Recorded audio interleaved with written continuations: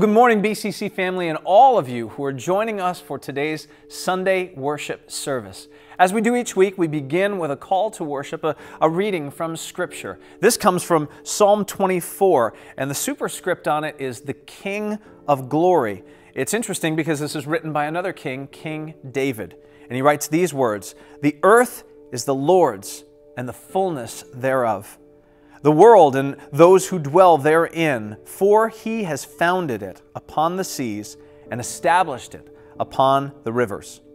Who shall ascend the hill of the Lord? And who shall stand in his holy place?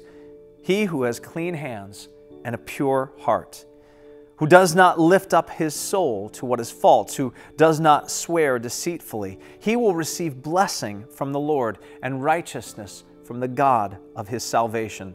Such is the generation of those who seek him, who seek the face of the God of Jacob. This is God's promise that if we seek his face, we will find him because he has enabled us to find him. He has made a way where there was no way, and he has drawn us to himself that we now would desire to seek him because of the work of his Holy Spirit in our lives. And so let's do just that. Let's seek our God, the God of Abraham, Isaac, and Jacob, the God of our salvation. Pray with me if you would. Lord, thank you. We seek your face, and to seek your face is to seek your presence, to be with you. And we know that your face is to- turned toward us because you love us and you call us your own.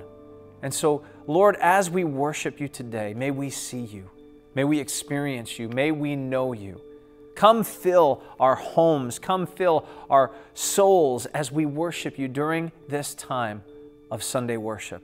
And in a moment, as we lift our voices in praise to you, may you fill the place where we are at, all of us in our respective locations. May you meet us there, that we might collectively worship you in spirit and in truth. We thank you for this time, for this service, for this worship experience with you. In your name, Jesus, we pray. Amen and amen. Let's lift our voice in song to our great God.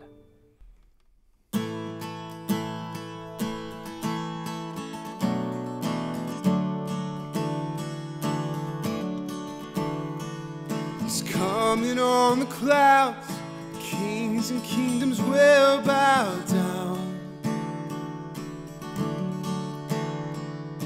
Every chain will break, his broken hearts declare his praise. Who can stop the Lord Almighty? Cause our God is the lion, the lion of Judah. He's roaring with power, fighting our battles. Every knee will bow before him. Our God is the Lamb the lamb that was slain for the sins of the world. His blood breaks the chains. Every knee will bow before the lion and the lamb. Every knee will bow before him. Oh, so open up the gate Make way before the King of Kings. The God who comes to save, He's here to set the captives free. Who can stop the Lord Almighty? Cause our God is the lion, the lion of Judah. He's roaring with power, fighting our battles every knee bow before him. Our God is the Lamb, the Lamb that was slain for the sins of the world. His blood breaks the chains. Every knee will bow before the Lion and the Lamb. Every knee will bow before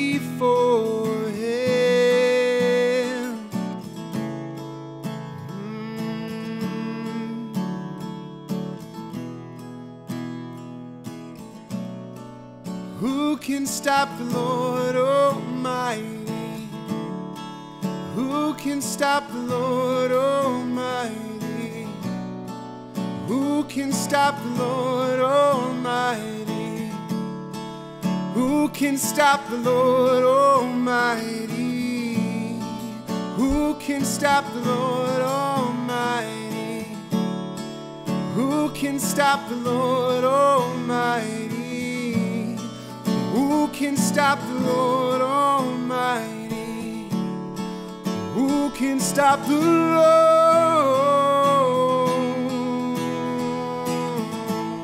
Cause our God is the lion, the lion of Judah. He's roaring with power, fighting our battles. Every knee will bow before him. Our God is the Lamb, the Lamb that was slain for the sins of the world. His blood breaks the chains. Every knee will bow before the lion and the lamb. Every knee will bow before the lion and the lamb. Every knee will bow before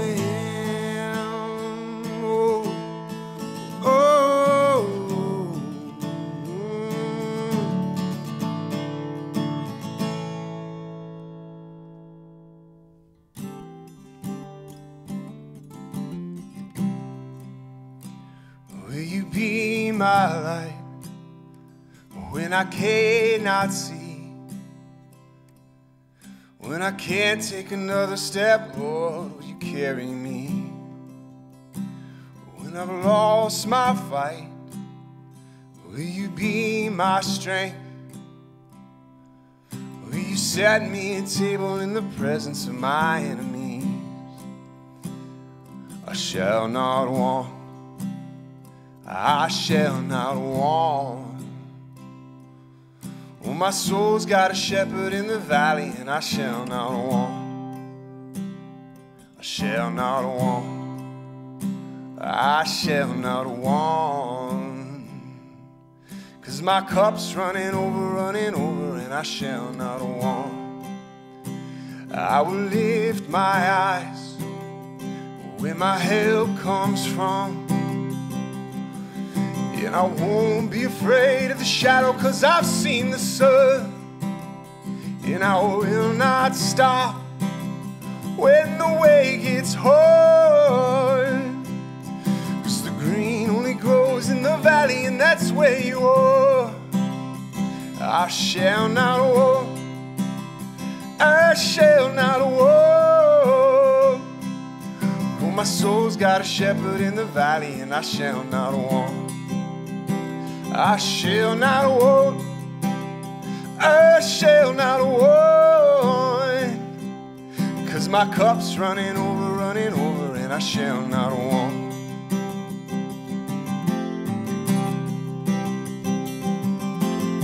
I got everything that I need your goodness and your mercy.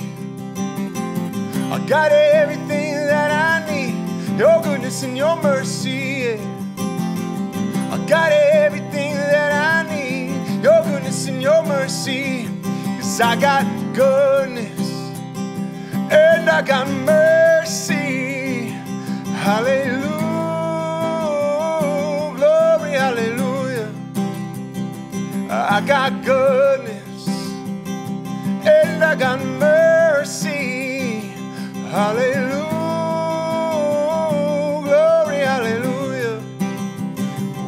I got goodness and I got mercy.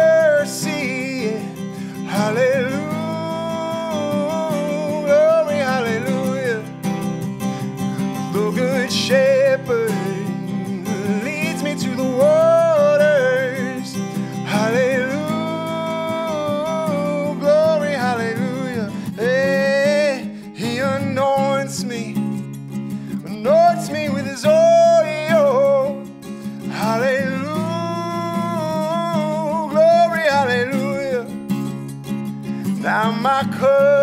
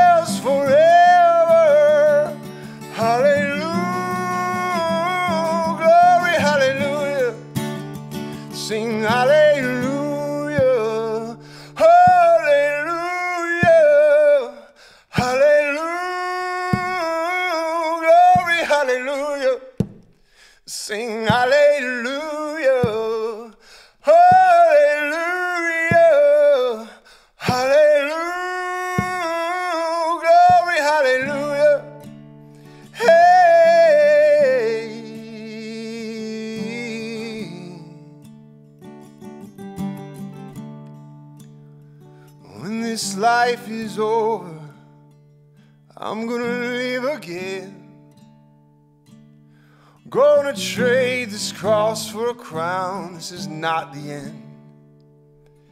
When you call my name, I will take my rest. There's a mansion in glory, and you're gonna meet me there.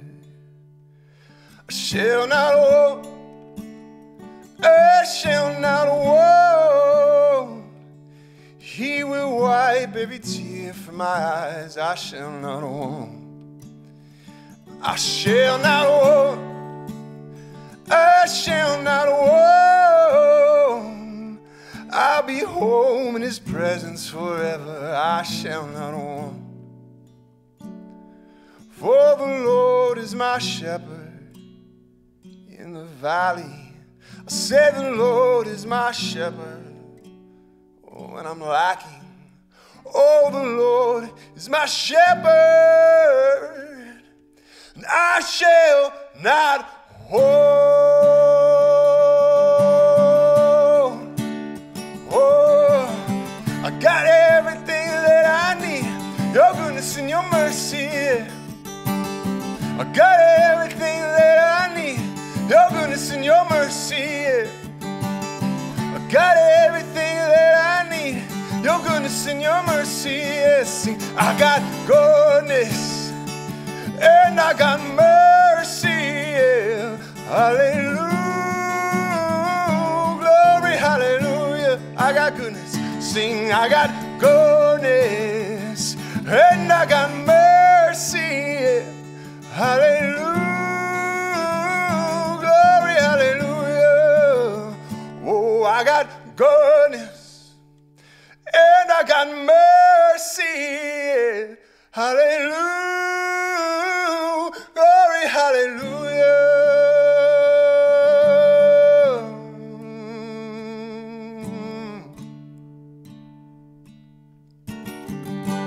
So my life, you have been faithful. All my life, you have been so, so good.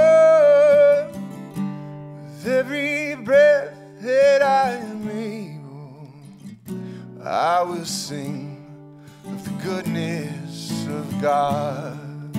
All my life, all my life, you have been faithful. Yes, you have. All my life, you have been so, so good. With every breath that I am able, I will sing of the goodness of God. Oh, I will sing of the goodness of God. Cause I got goodness, oh, and I got mercy. Hallelujah, glory, hallelujah. Oh, I got goodness and I got mercy. Hallelujah, glory, hallelujah.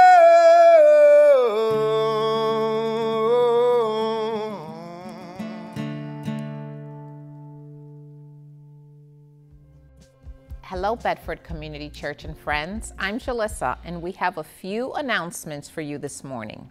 First, we have a message from Lisa Bruno. Hi, BCC family. Lisa Bruno here, Director of Care, coming to you with another opportunity to serve. our neighbors here in Northern Westchester. We have partnered with the Community Center in their Erase the Need drive um, for school supplies. They hope to help 1,800 students in this area have the supplies that they need to start school in the fall. We have committed to providing 50 bags. There's a combination of a variety of elementary, middle, and high school bags. Um, this is what you would pick up. You would fill it, the, the supplies that you need for each type of bag is included, the list is included in the bag, and you would pick up one on Sunday during, before or after service, and it needs to be back to the church by July 18th. We would love for you to, um, you are a very generous group of people. We would love for you to commit to this and so we can supply at least 50 children um, with the supplies that they need for school in September. Thanks again for all your generosity. We wanted to remind you that next week is Communion Sunday. Let's take this week to reflect and prepare our hearts. Here at BCC, we have four ways to give online at bedfordcommunitychurch.org, on our Tithely app, through the mail, and in person when you attend services. We are so glad you decided to join us today. Enjoy the service. Good morning again, BCC family, and all of you joining us for today's broadcast. My name is Josh, and I have the privilege of serving as lead pastor here at Bedford Community Church. For any of you that I have not met yet, we're honored to have you here for today's service. So, last Sunday, we actually began our outdoor services on the lawn here at BCC. It was incredible to see so many people come out and to have the church, or at least part of the church, together for one large service. So let me encourage you, if you're able, join us this next Sunday for the launch of our new sermon series, Out of Office, the Bible's prescription for R&R. It promises to be a great way to kick off the summer season and to get our heads and hearts ready for all that God has for us in the months ahead. Today we conclude our current two part series entitled Hey Jude, a song that calls us home. Utilizing the Beatles' song Hey Jude as an illustration for the difficulties of families and relationships, we find that it is only through Christ, his death and resurrection, that we find healing and restoration, both with God and with others.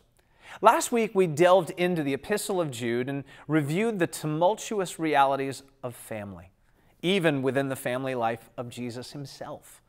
We learned about how our actions impact others and how God calls us to live within the safeguards of sound doctrine and biblical living, not to limit us, but to help us to see what real freedom and healthy relationships look like.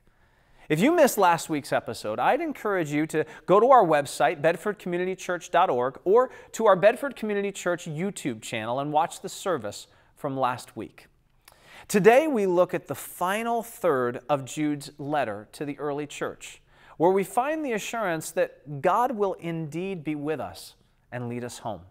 So join me as I begin reading the text at verse 17. It says this from the English Standard Version of the Bible.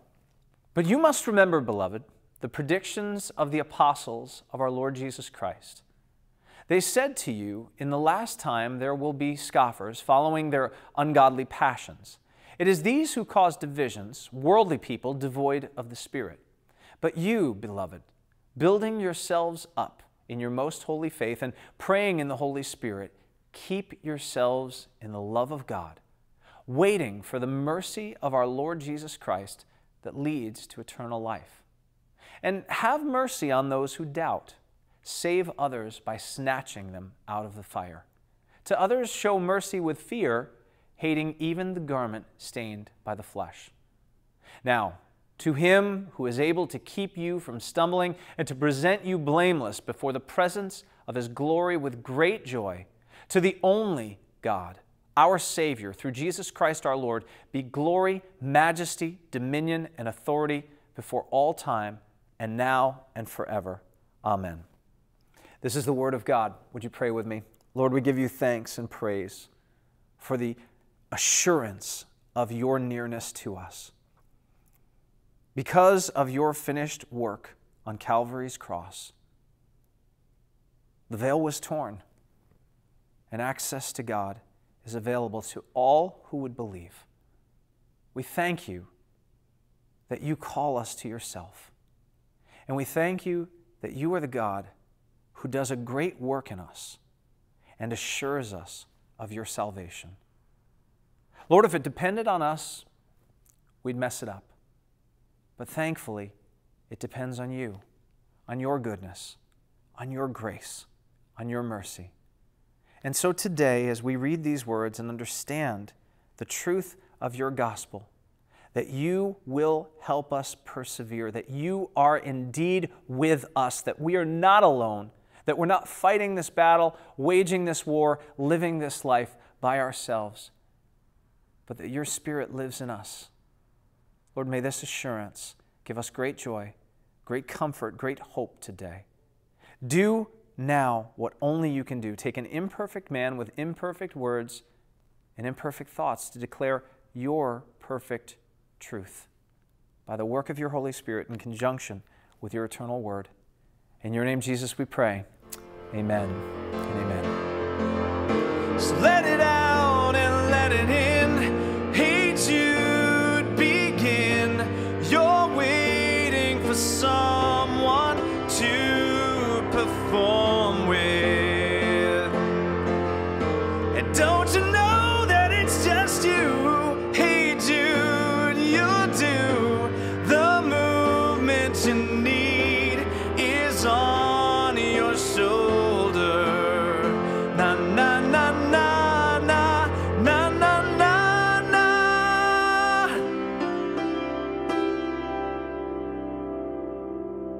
Well, I hope you like that. So let it out and let it in. Hey, Jude, begin. You're waiting for someone to perform with. And don't you know that it's just you? Hey, Jude, you'll do. The movement you need is on your shoulder. Did, did you catch those final words? The movement you need is on your shoulder. This line is the most confusing and yet talked about line in the entire masterpiece of Hey Jude. I mean, let's be honest, right? It's not difficult for song lyrics to be confusing. And that's if you can even understand what an artist is singing. Confession, I spent most of the 80s making up lyrics to my favorite songs because I had no idea what they were saying, thanks to the poorly articulating artists of my time, like Michael Jackson, Elton John, and Def Leppard. And it wasn't just my generation. Bob Dylan pretty much sang like he had marbles in his mouth, and Pearl Jam sounded like they just got out of bed and were singing in the shower. Now, out of a deep courtesy to our younger people, I will reserve my comments about current music. That is, if we can actually classify it within the category of music. But enough of the music wars. Let's go back to the Beatles. They were a different story. So much of how music evolved over the years is attributed to their influence and that of the British invasion that they are credited with leading. But like many of the songs of their time, and even up to this day, the more seemingly mysterious the lyrics of a song sound, the more intrigue that surrounds it. I mean, think about it with me for a second. Songs like Hotel California or American Pie both were overanalyzed for years as to a hidden meaning. Don McLean was famously asked in an interview, What does the song American Pie actually mean? His reply was priceless. It means I'll never have to work another day in my life. and with good reason. It's estimated that he makes nearly half a million dollars on royalties just from that song. So, again, the Beatles, with this mysterious line, the movement you need is on your shoulder. Well, it's common knowledge, if you know anything about Beatles lore, that Paul McCartney wrote the music for his songs first and then added the lyrics. He would often use something called filler lyrics until he could come up with something better. You might have heard about this. Some of you might even know the famous story about the filler lyrics for the song Yesterday, right? Yesterday, all my troubles seem so far away. Well, the filler lyrics actually sounded like this Scrambled eggs. Oh, my darling, you've got lovely legs. True story. Well, Paul marks the culmination of the song Hey Jude, the final rousing stanza before the repeat of the first verse, with a filler lyric that seemingly makes no sense. The movement you need is on your shoulder. But when he played it for John Lennon, the response was decisive. John said, Leave those words just as they are. People have tried for decades to figure out what this verse means. And I want to tell you that today, right here on this broadcast, I am going to solve this age old mystery. See, for many of us, we go through life wondering how we're going to make it through. We wonder what life is all about. We wonder how to navigate the messy intricacies of life and love and relationships, of meaning and purpose and eternity. In essence, we learn to make up the lines as we go along. We're just like Paul McCartney, writing the song without the lyrics. For many of us, we use filler lines just like the Beatles. Much of what we do doesn't seem to make sense, but it's kind of the best we've got, right? That's how many of us have lived our lives. And then out of nowhere, God shows up. Suddenly, our song takes on meaning. The words that seemed meaningless all of a sudden make sense. And the reality of the gospel sets right that which was so wrong for so long. And, we see that even in the midst of our waywardness and confusion, God was always there. The impetus, the inspiration, the movement that we always needed was right on our shoulder. Listen to the lyrics again and, and see if this doesn't describe something for you. So let it out and let it in. Hey, Jude, begin. You're, you're waiting for someone to perform with. Now, don't you know that it's just you, hey, Jude? You'll do. The movement you need is on your shoulder. This is the song, the story, the narrative for so many of us. We, we didn't even realize that God was there with us the whole time. The sad reality is, we still don't. Many of us, though followers of Christ, still live as though we're alone, that it's all up to us, that we're the ones holding up the universe. We struggle to make it through each day, and we hope that we have enough to endure to the end of this race called life. Church, God has an important message for us today. The movement you need is on your shoulder. The final third of the Epistle of Jude is a much needed reminder of who is leading us home and that he will be faithful to get us there. Join me at verse 17, where Jude begins this passage with these words. But you must remember, beloved, the predictions of the apostles of our Lord Jesus Christ. They said to you, in the last time, there will be scoffers, following their ungodly passions. It is these who cause divisions, worldly people, devoid of the Spirit. As we have witnessed the changes in our present societal context over the past 18 months, there are many who feel that the world is irreversibly changed and not really for the better. Especially, I see this in the church. We, we seemingly see division and derision winning the day, right? We lament a society that has lost its moral compass, but we also recognize that the church has lost its voice and legitimacy to speak into that culture.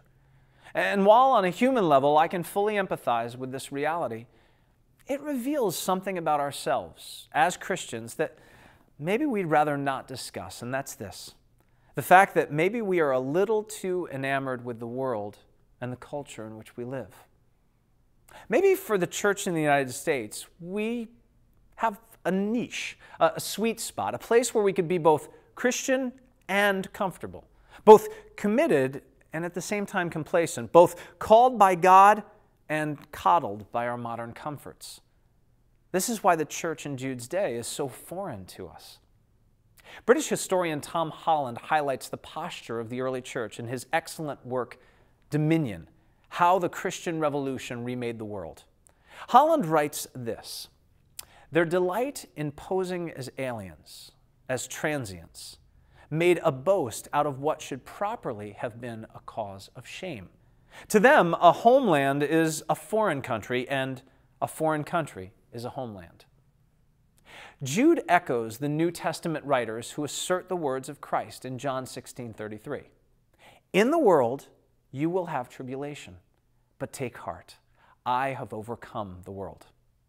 And how are we to overcome the world? Jude outlines this in the next section. Pick up the text with me in verse 20. But you, beloved, building yourselves up in your most holy faith and praying in the Holy Spirit, keep yourselves in the love of God, waiting for the mercy of our Lord Jesus Christ that leads to eternal life. And have mercy on those who doubt. Save others by snatching them out of the fire. To others, show mercy with fear hating even the garment stained by the flesh. These are powerful, profound words. There is so very much here to unpack, right? Well, the first thing to note is the verbs that Jude uses building, praying, keeping, waiting. These are the core marks of the Christian life. These are active, volitional identifiers of the true church at any time throughout the 2,000 years since Christ. And they capture not only the urgency, but the reality that the Christian life is not a Disney cruise ship that we leisurely enjoy until we reach the final port of heaven where Mickey, Minnie, and Jesus await us on the crystal shores. No, no, that's not the case. The Christian life is a battleship where we war for our own souls and for the souls of others, empowered and edified by God, Father, Son, and Holy Spirit to accomplish the plans for which we were created. This is the warring, empowered posture of the church on earth, a, a, broken but beautiful vessel of God's grace and love. And this passage illustrates well the mission of the church to transform the world around us. And the catalyst for this change is the power of the gospel of Christ, which saves people unto eternal life. At this point, let me pause and tell you a little bit more about my story. As many of you know, my early life was all about what I wanted to do and, and what I could accomplish. As I approached my final years in high school, there were various options on the table for my future. Sure, I considered going to college, but my heart really led me in two other directions. Either I could continue my professional acting career in New York City, do it full time. I had been doing it since I was 10 years old. Or I could pursue a professional soccer career in Brazil as I had the opportunity to try out for a handful of teams. My parents, through all of it, convinced me to go to college and then to pursue one of those two options if I wanted. But in college, I fell in love with two people that changed the trajectory of my life. The first was Christ, the second, my wife Denise. I remember wrestling even then as I was finishing college what was going to happen with my future. But there's a night in my mind that permanently sealed the deal for me. I was having a conversation with my parents and, and my uncle, who was visiting from California. This was my senior year of college, and he was a professional singer and musician in LA. And he was actually encouraging me to come out and try my hand out there. I could continue my acting career and delve into the possibility of a music career as well. But my convictions for my future had changed throughout the course of my college years. The conversation crystallized at one point when these words came out of my mouth. The world doesn't need another great artist or singer or actor. No, what the world needs is Jesus, not me. After hearing myself, I realized that I had come to an epiphany that would never be reversed. My life's mission was to reach as many people as I could with the gospel of Christ's love and grace and salvation. I share this with you today not because I want you to think, what a great guy, but instead to convince you that I'm not. I wanted to be rich and famous and worshiped. But God, in His grace, got hold of me, and now my life is a picture of Jude 20 through 23. In the same way that God snatched my life from the fires of my own pride and vanity, I've offered my life to serve Him by snatching others from the fire offering them the very same grace and mercy that I've received in Christ. Why? Because He's the only way to make it, the only hope for the song of our lives making any sense. Pick up the text with me in verse 24. Now, to Him who is able to keep you from stumbling and to present you blameless before the presence of His glory with great joy, to the only God, our Savior, through Jesus Christ our Lord be glory, majesty, dominion, and authority before all time and now and forever. Amen. Did you hear that, dude? You're not alone. You can't do it on your own, and you don't need to. The, the help, the impetus, the movement you need is on your shoulder. God is right there with you, and He will help you make it home. He will keep you from stumbling and present you blameless on the day that you meet Him face to face. He will do it. That's why this letter ends with such power and proclamation. Because God, the one and only true God, sees you and knows you. He watches your life as you've made up filler lines to the story of your life, trying to assuage your pain through self medication or self aggrandizement on social media. He sees the quiet desperation in which you live, and He offers you a better way. Let me close with this. The Holy Spirit, the very presence of God in Scripture, is termed the Paraclete. That's the Greek word for it. And it basically means the one who comes alongside of, the one who stands beside. And the picture that we have even is the one who's on your shoulder. I know that many of you grew up watching cartoons where there was an angel on one shoulder and a devil on another shoulder. And that was trite and funny. But the truth of Scripture is far more profound. God actually comes alongside of us, He stands with us.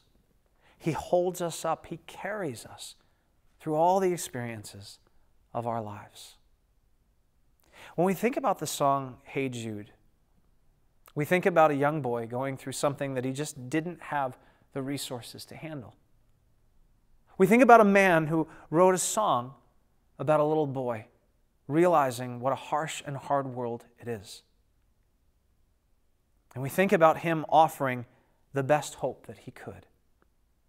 That song, that hope, that offering from Paul McCartney has changed the modern world as we know it. But it pales in comparison to the masterpiece that Christ has made.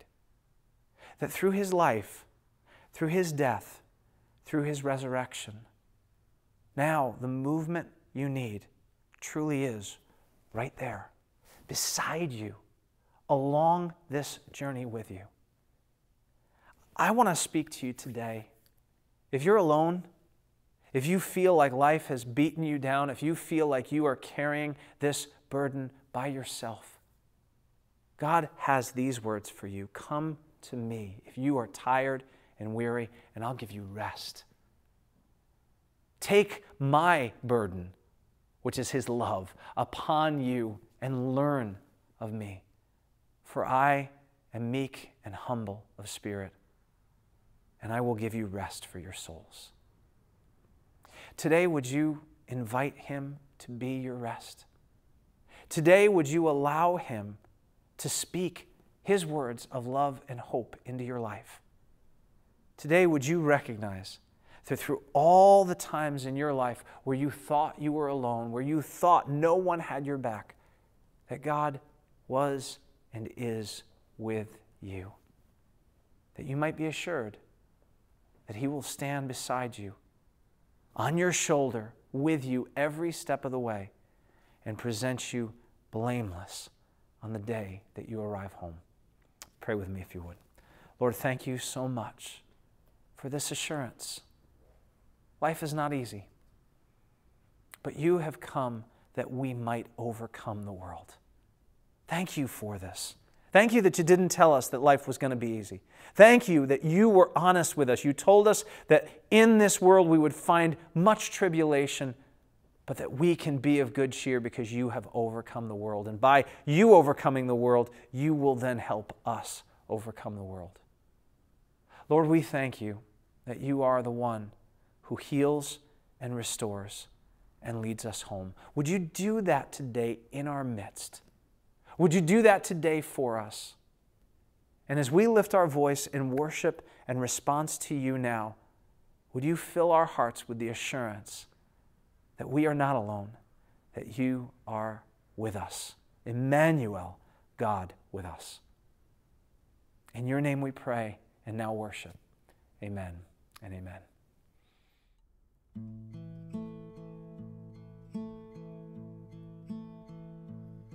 For we trust in our God, and through his unfailing love, we will not be shaken. We will not be shaken. We will not be shaken.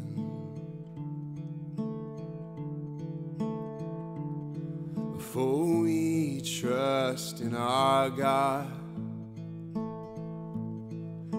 through his unfailing love, We will not be shaken.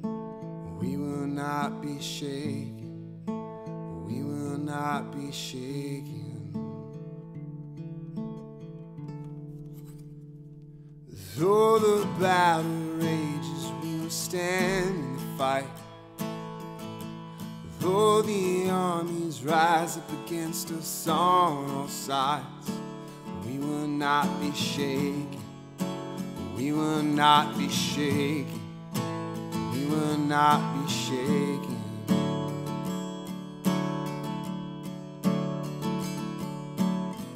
For in the hour of our darkest day, we will not tremble, we won't be afraid. Hope is rising like the light of dawn. Our God is for us, He has overcome. For we trust in our God, and through His unfailing we will not be shaken. We will not be shaken. We will not be shaken. Oh, for we trust in our God, and through His unfailing love, we will not be shaken. We will not be shaken. We will not be shaken.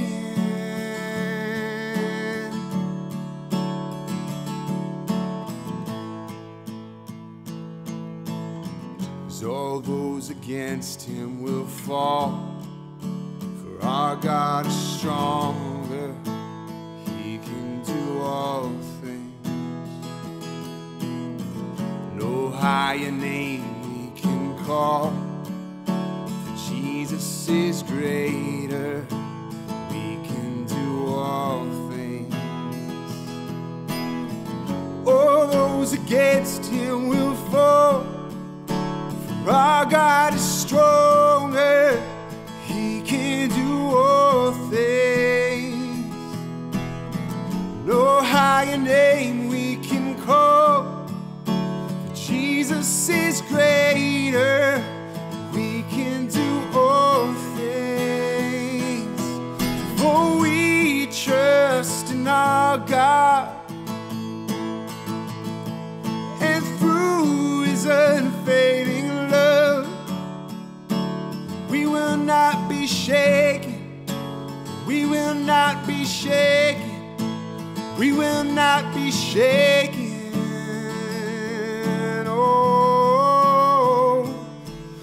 For we trust in our God. And through his unfailing love, oh, we will not be shaken. We will not be shaken. We will not be shaken.